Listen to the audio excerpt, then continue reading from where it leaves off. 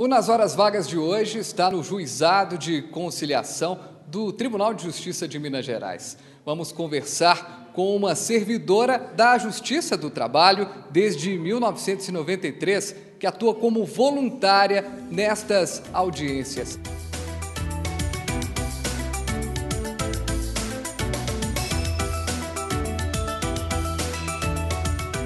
Depois de um tempo de espera, enfim, vamos conversar com a Eugênia. Eugênia, obrigado por essa entrevista e já começo perguntando: há quanto tempo você faz esse trabalho voluntário?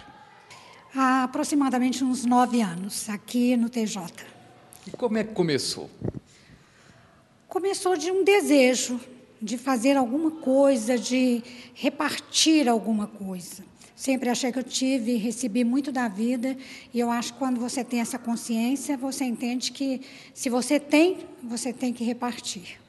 Então começou desse desejo e eu procurei o TJ porque eu acho maravilhoso esse trabalho de conciliar, né, de, de tratar assuntos que para as pessoas é, são muito difíceis, elas não têm assim, não se sentem capazes de resolver aquilo, aquela questão só entre ah, os envolvidos e aí procuram a gente e às vezes com uma palavra, uma conversa, aquilo que parecia assim ser um problemão, você consegue minimizar, consegue conversar e chegar a um consenso e resolver aquela questão e as pessoas ficarem felizes.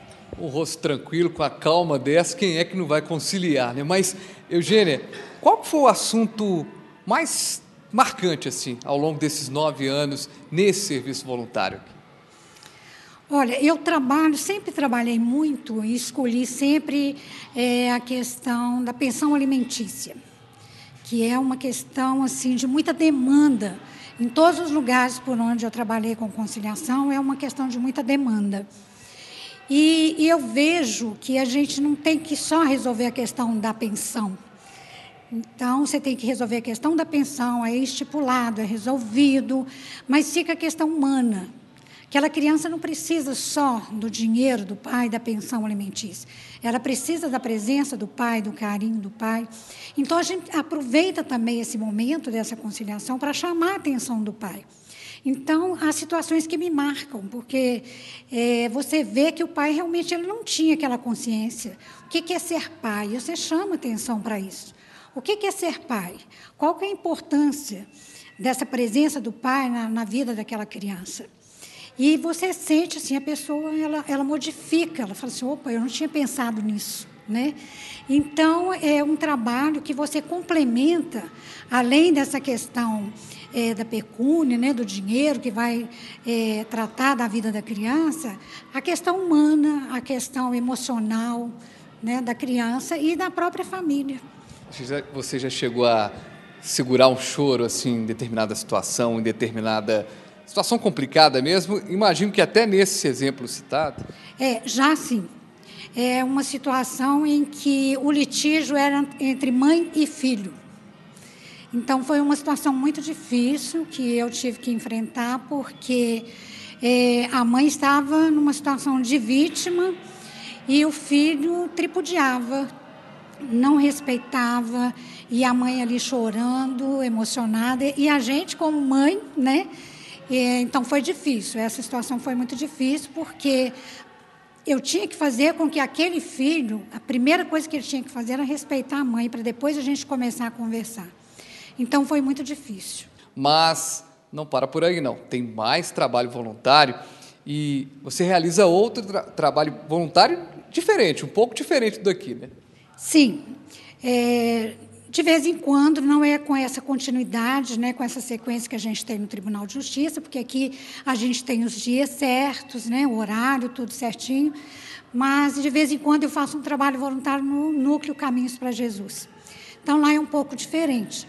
Lá o que a gente leva para os funcionários, para as pessoas que né, moram lá, para convidados, familiares, a gente leva palestras sobre assuntos que eles nos pedem. Então, para você ter um exemplo, o último assunto que nós falamos lá foi sobre o amor. Nos pediram para que fôssemos lá falar sobre o amor. E foi muito legal, porque o que, que eu percebi? Como que as pessoas estão sentindo necessidade de falar sobre o amor hoje. Numa época em que se fala tanto sobre amor, se canta tanto o amor, mas as pessoas não estão sentindo o amor, sabe? Elas estão precisando ouvir, precisando reviver, saber o que é amor. Quantos casos, quais são os casos que são resolvidos aqui? Essa questão do dia a dia da sociedade, sabe? É algum desentendimento entre vizinho, desentendimento entre o casal, a pensão alimentícia, cheque sem fundo, sabe, dívidas de aluguel, essas coisas do dia a dia da sociedade menos favorecida. E para poder participar, qual que é o requisito, qual que é a formação, como que a pessoa deve fazer? Procurar o Tribunal de Justiça através do seu juizado de conciliação e aí o juizado vai fazer uma entrevista com você, você vai fazer um curso preparatório para ser conciliador, e aí então, depois desse curso, você já está apto a trabalhar. Eugênia, muito obrigado pela entrevista. Bom trabalho, tanto no tribunal quanto no trabalho voluntário. Muito obrigada a você por essa oportunidade. Eu espero que todos que virem essa reportagem, essa matéria, é, façam essa reflexão que eu falei eu tenho muito, ou o que, que eu tenho para doar? E arranjar um tempo para fazer essa doação. Ouviu? Se você prestou atenção então no que a Eugênia, a Eugênia falou, pode procurar por ela também no tribunal, que ela te dá mais detalhes também. Tchau.